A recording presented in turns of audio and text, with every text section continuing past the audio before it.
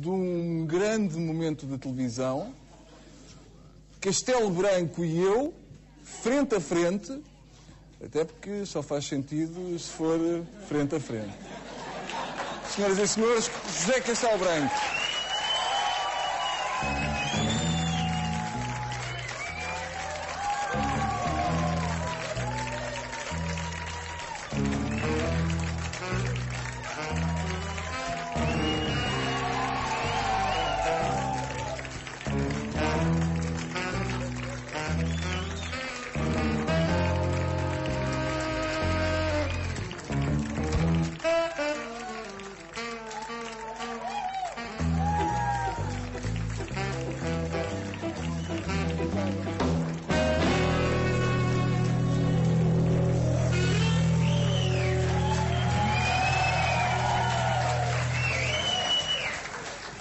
Ah, vi. Tá boa, querida.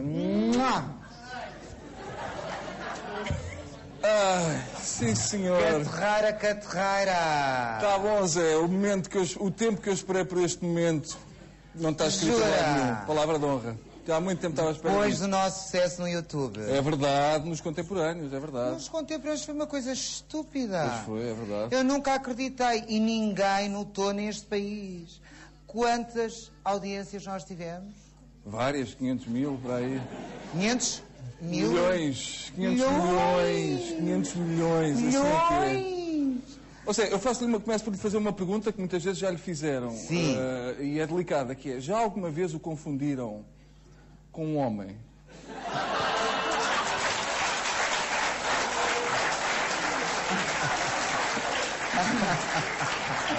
Lasci-me rir de...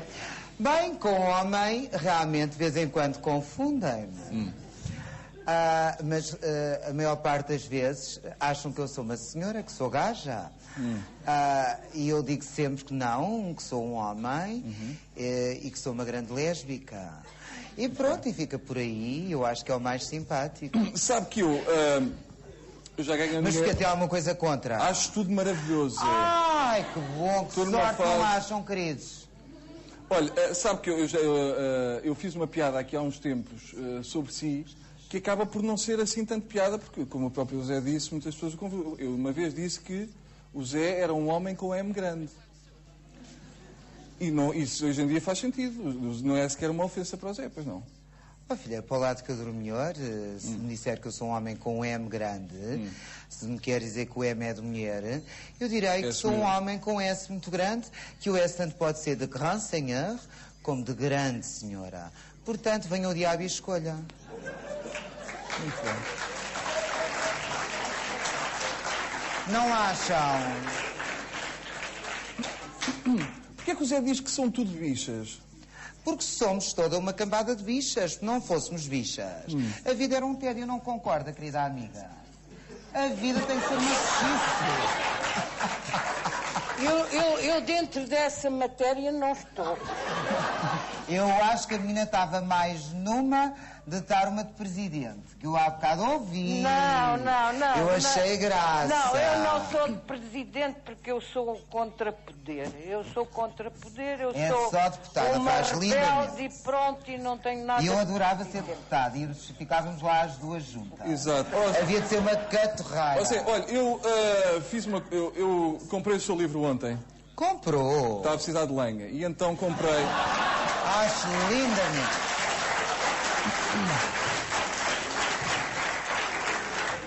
E diz aqui que com 14 anos foi com umas amigas à festa do Avante. Pois fui, eu sou uma mulher de todos os lados. É uma- Eu sou de esquerda, de direita, de centro.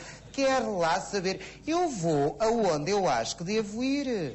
Eu não tenho problemas nenhuns de estar com as pessoas. Eu sou um animal de palco. Ah. Eu sou um animal para estar pa- com toda a gente. Percebe? Eu tanto recebo em minha casa. eh, a minha manicure, que eu adoro de paixão, que é a minha guidinha.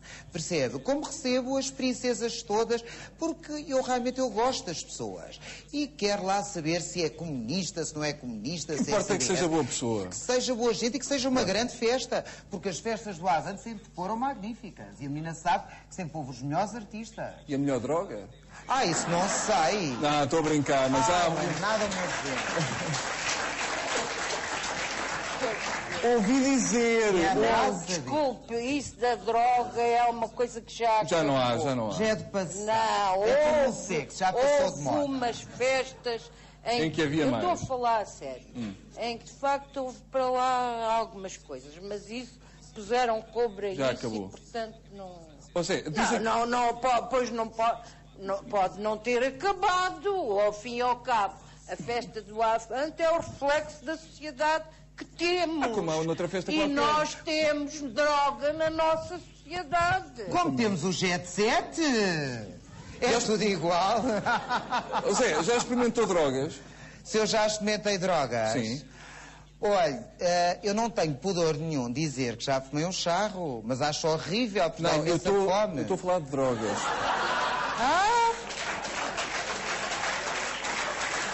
Está a falar de heroína, Ai, heroína. não, essas coisas. estou a falar de um charro, estou a falar de drogas. Ai, de drogas, sei lá, filho. Não. Quero lá saber, acho tudo um horror. Eu também li aqui no seu livro, eu passei uma noite nisto, hein?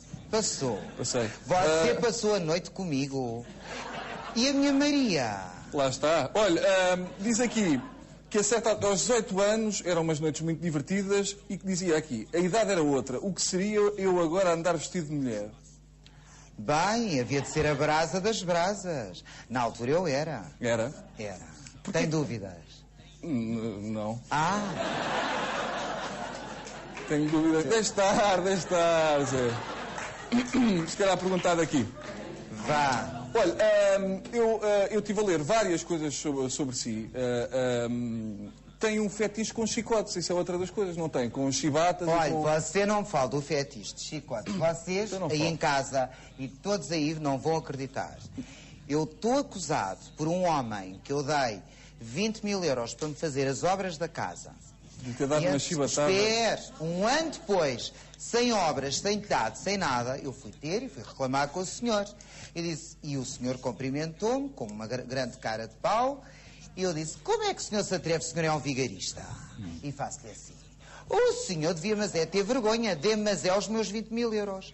Então, eu estou acusado, o homem pesa 550 quilos. Eu, coitada de mim, com 58 quilos. Ele tem dois metros de altura e diz que eu lhe dei tanta chibatada, pois eu vou com Não esse chicote que tenha para o feito isso. tribunal. Não acredito e, olha, e vou-lhe dar as chibatadas lá no tribunal. Diz, ah é, agora toma. O, o Zé, o Zé, Ah, o Zé já, já teve preso. Estar preso foi horrível ou foi uma espécie de sonho erótico? O que é, que- o que, é que... sabe que na minha vida é tudo um misto. Eu sou um misto, eu sou um misto de raças, de etnias, tudo quanto há.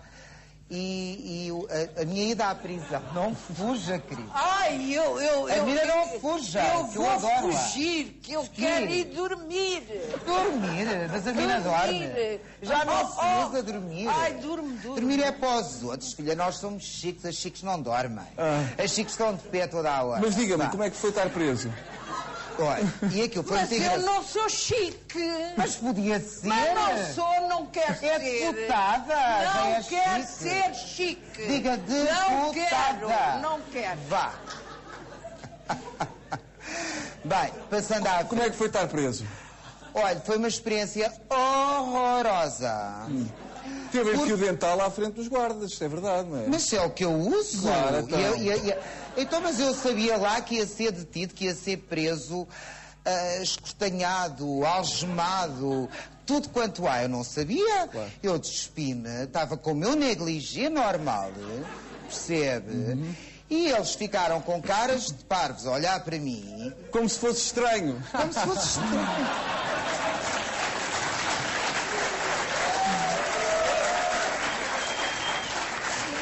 Olha, posso beber água? Então não pode, Zé, está à Ai, que vontade. querido! Vai, Adoro, água. adoro a sua água. No seu livro, ah, Não, mas deixe-me acabar da Ah, prisão. então, sim, ok. E quando eu me dispo, as bestas disseram tire isso tudo e abra as pernas. Eu disse, eu nem morta. Nem morta eu abro as pernas, mas que ver- vergonha é essa? Mas o, o, o José tem, tem problemas com autoridades e com, eu já, já li também que quando foi para, para fazer a inspeção foi vestido de mulher. Mas eu na altura andava sempre vestido Foi de mulher. mini saia. Claro que fui. Fui em Terry Mugler. Foi. Porquê? Mas não achou um bocado estranho ir fazer a inspeção para a tropa vestido de mulher? Oh, querido, eu na época andava sempre de vestido, sempre de saia. E, portanto, era natural, se eu fui chamado para ir à inspeção, eu fui vestido como andava. Portanto, nem mais, nem menos. Portanto, não foi crime nenhum. Claro. Eu não fui fazer show-off para o quartel. Aliás, eu até já ia com umas mudazinhas que eu levava umas malinhas. No caso lá a ficar, sabia lá, se tinha que lá ficar. E depois o senhor comandante chamou-me à parte e disse, olha, vá passar umas férias a Troia, que é chiquíssimo. E lá fui eu para Troia, com a minha primeira mulher, com a mãe do meu filho, e foi uma catorreira, porque levávamos imensos maiôs, e foi um desfilar de fatos de banho. Diga-me uma coisa, no seu livro, no seu livro vem que teve um caso com um jogador da Seleção Nacional. Ai, não vai falar disso, eu não sou como as outras. É dos anos 80 e que era capitão. Agora diga-me, como é que é o Humberto Coelho na cama? Quem? Quem é esse? Não é? A ver se colava. Era a ver se colava. Era a ver se colava, não é? Quem é esse? Quem é que foi? Não pode dizer, claro. Não, porque eu nunca disse que era português. E cala-te boca. Ai, não é português. Não, nunca Então era, disse. era capitão da Seleção Nacional? Não, eu disse seleção nacional, pode ter sido a China. Está a perceber? Então há seleções nacionais em todo lado. Não é bem, está bem visto. Portanto, o meu biógrafo é que pôs assim, pronto, para ser mais engraçado, sei lá. Eu não sei, eu não fiz a correção do livro. Ok, muito Se bem. eu tivesse feito a correção, não tinha deixado. Não tinha passado nada disto, não é, Zé? Se calhar passava pior. Ah, Eu sei que gravou um disco, escreveu um livro, não é? Sim. Quando é que começa a trabalhar? Olha, quando você me chamar, quando a RTP me chamar e contratar, eu O que é que gostava de fazer? Muitos shows neste país. Muitos shows. E adoro fazer televisão. Eu continuo a ser um animal de televisão. Uhum. Gosta muito de fazer E, portanto, quando quiserem, cá estou. Está disponível. Sim, senhor. Eu vou Sempre aproveitar. disponível. Ah, o meu ah, próximo convidado, para se juntar à conversa, ah, tem 67 anos e é mais conhecido como o avô Motar. Senhoras e senhores, o vosso aplauso para Urbano Silva.